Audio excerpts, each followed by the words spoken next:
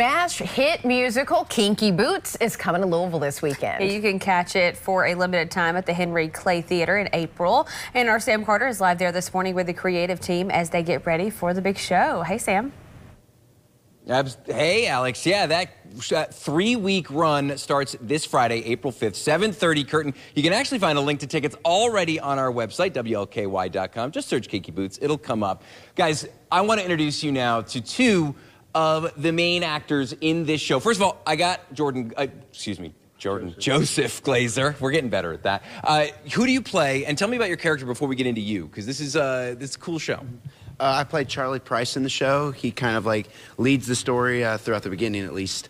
Uh, and his his dad owns a shoe factory in Northampton, England. It's a small town, about an hour and forty from London, and. Um, and you kind of push the evolution of the show. It's your character's evolution throughout it that kind of pushes it. Let's let's move down here, uh, Joseph, and let's meet Tyler. Tyler, you are standing next to the titular Kinky Boots of the show. Yeah. Who do you play? And, and tell us a little bit about you at the same time. I play the character of Lola, otherwise known as Simon, in other parts of the show.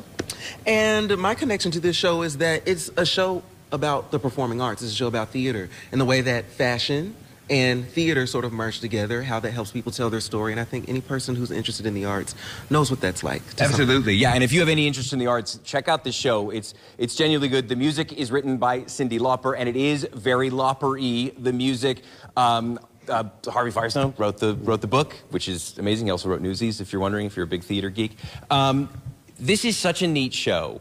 But this show is for everyone. The, the term kinky on the front kind of might turn some people off, but it, it is for everyone, right? Absolutely. It's actually a show about like self-acceptance and tolerance. And I think while on the surface you see it between Lola and Charlie, uh, you see it in almost every character, uh, and honestly in yourself by the time you get to the end of the show. It's awesome. It's such a good show, guys. I really want everybody to at least give seeing this a thought. It opens Friday, April 5th. That's this Friday, three days before the eclipse, if that's how you're keeping time. Nowadays, I know that's how we at the office are keeping time.